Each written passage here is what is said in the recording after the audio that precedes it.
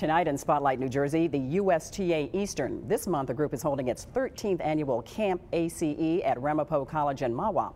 The week-long camp is for students ages 14 to 17. Linda Mann is the Managing Director of Community Tennis Development for USTA Eastern. She is joining us by phone tonight. Welcome, Linda. Linda, are you there? I am. How are Hi, you? poor baby. I'm glad we got you back. Now, what is Camp ACE?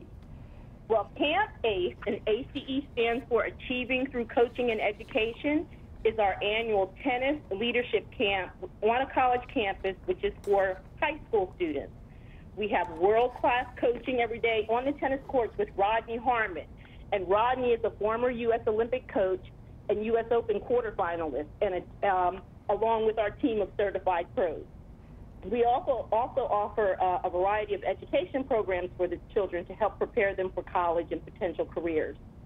So that's included in what these kids can gain from these clinics. Tell us more about that. Well, during the camp, we also also hold a special clinic with Rodney for our high performance juniors called High Pace. Um, that particular clinic is held three times during the week, Tuesday, Wednesday, and Thursday at Ramapo College of New Jersey. Rodney's an outstanding and highly experienced coach and can help players take their tennis game to the next level. And there's still time for them to sign up. Now, aside from Rodney Harmon, Linda, are there any new programs or teachers at the camp this year? There are. There, we actually this year are um, highlighting three additional professional, former professional tennis players. We're uh, Katrina Adams, who is uh, a professional tennis uh, player Leslie Allen, and Ann Koger. All three will be there to work with Rodney to help the kids on, on court. In addition, we also offer a, additional educational components in social media. Uh, we're having an Arthur Ashe essay contest. We're doing a junior team tennis tournament and a quick start training for the kids. And we're also taking them to the American Museum of Finance on Wall Street. Linda, thank you very much for joining us, and I'm so glad we got you back. This sounds like a wonderful camp, Camp ACE. We appreciate your talking with us today. Linda Mann with USTA Eastern. Good luck. Thank you. You're welcome. And do come back.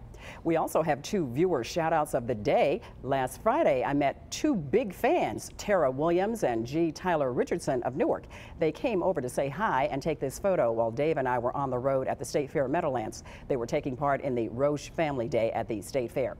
And members of the Medina family of Iselin, Middlesex County were also there for that same event. Jennifer was kind enough to send us this photo that we all took at the State Fair there at East Rutherford. The Medinas are also big fans of News 12 New Jersey. And thank all so much for coming out when we go on the road. We have such a good time with our viewers. You are watching News 12 New Jersey. Help is on the way for some New Jersey residents in flood prone areas. Find out next.